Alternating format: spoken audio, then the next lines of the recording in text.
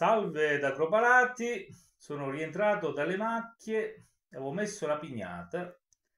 Anche le patate si possono cuocere nella nostra pignata. Buonissime e si cuociono veramente in maniera omogenea, perché eh, di solito le patate non cuociono sempre bene bene. Quando le cuocete nella pignata diventano veramente squisite. Non si spappolano, ma allo stesso tempo sono tutte cotte in maniera uniforme. Provo. Mm. Patate bollite, aromatizzate con eh, ovviamente origano, poco poco di aglio e anche del sale, olio extravergine d'oliva e un po' di aceto. Buonissima. Ecco qua.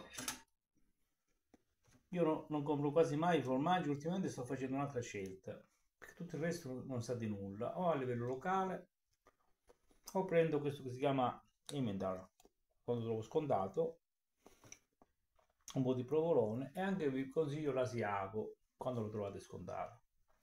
Sa di formaggio, il resto, boh, o mozzarella, che non sanno di nulla. Tanto vale non comprare proprio. Non sento niente. Queste sono patate alla sira a pasta gialla, buonissime.